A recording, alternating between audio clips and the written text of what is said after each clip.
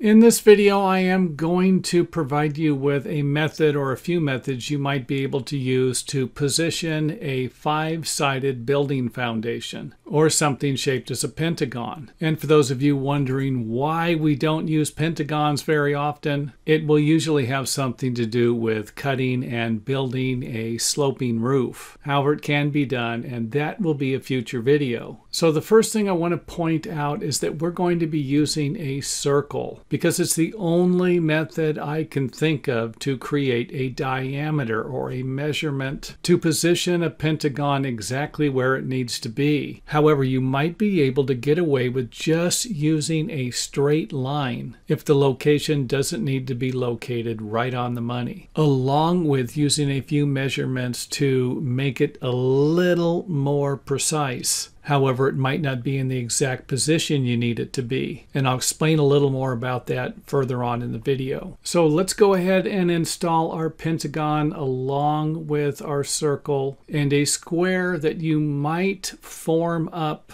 so that you can pull measurements from it. However, this is not going to be necessary along with the circle in most cases. So here we have the diameter of the circle, 10 feet, the side of the square, 10 feet, and the measurement we're going to need to figure out the length of the sides here. And this is what I think really simplifies this project. Because if we multiply the radius or half of the diameter, the radius is going to be 5 feet or 60 inches times 1.176, it will provide us with the length of each side. Each side is going to have the same length. So if you already know what the sides are going to be, you don't need the formula. You can simply start with a center line and then follow the step-by-step -step instructions in the rest of the video. However, before we do that, let's just go ahead and type in 60 or 5 feet, whatever's going to be easier for you. But I found that working in inches is usually going to provide us with a more accurate measurement and something that's going to be a little easier to convert than a decimal that you're going to end up with if you use feet. So let's go ahead and multiply 60 or the radius of the circle. And the radius is simply the measurement from the center of the circle to the outside of the circle. And let's multiply that by 1.176. And we're going to end up with 70 and a half inches, just a little over 70 and a half inches. And if you need this thing to be right on the money, then you'd better convert this decimal to a fraction. However, if it can be off just a little bit, then you can probably just cut your boards at 70 and a half inches or even 70 and 5 eighths of an inch. So again, as I mentioned, you can either form up a square and then run a string from one end of the form to the other end, or you can simply drive a couple of stakes in the ground. So you can drive a stake over here, a stake in the ground over here, and then connect the two stakes with a string to create a straight line. And the center line of your pentagon. And again, this is going to depend upon how accurate you need everything to be, along with your experience level in forming odd shapes like this. Then we're going to cut five equal length boards with a 36 degree angle at each end. And since we're going to be forming a concrete slab, we're going to want our measurement to go from the short point of each board or the inside of the form and not the outside. So we're going to create five boards with a 36 degree angle and an inside measurement from short point of the angle to short point of the angle at 70 and a half inches.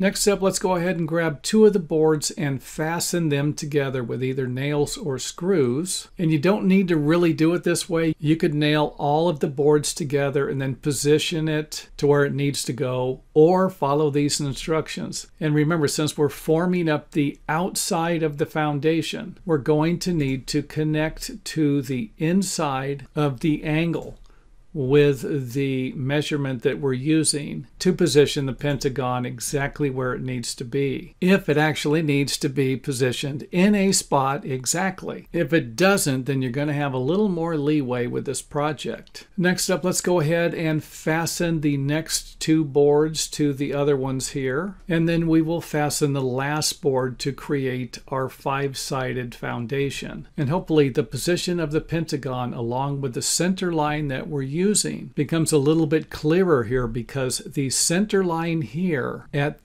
this point will line up with the center of the angle. And down here it will line up with half of the distance of the measurement that we have here, providing us with another reference point to position the pentagon. And if you did form up or use some type of string lines to represent a square, then you'll be able to take measurements off of it. The measurement from this side will be the same as the one on the other side. However, you can also measure from your center string line because the distance from the center will be the same same on both sides. And you can see here what I'm talking about where we can line the center of this board here up with the center of our string line to provide us with the position of this board here. However, we would need a parallel line or like I said before, a string or a form on the outside, creating some type of a square shape that we could measure off of to make sure that this board here is parallel to the line here. So again, the square that we're running around the perimeter here